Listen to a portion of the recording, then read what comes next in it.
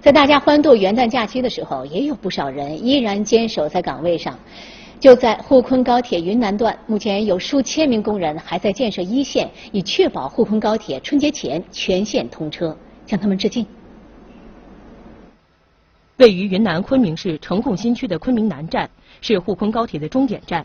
记者在这里看到，三千多名工人正在紧张施工，对外墙及室内进行装饰装修，对一些设备进行安装调试。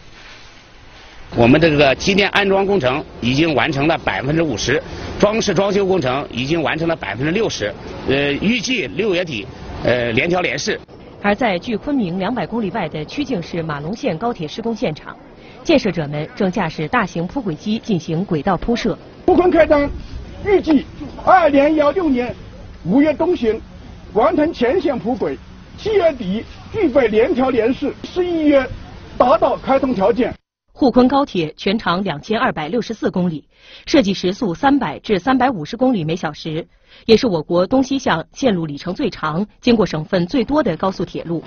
年底全线开通运行后，云南省也将迈入高铁时代，并入全国高铁网络。届时，昆明至上海的通行时间将由目前的四十多个小时缩短到十小时左右。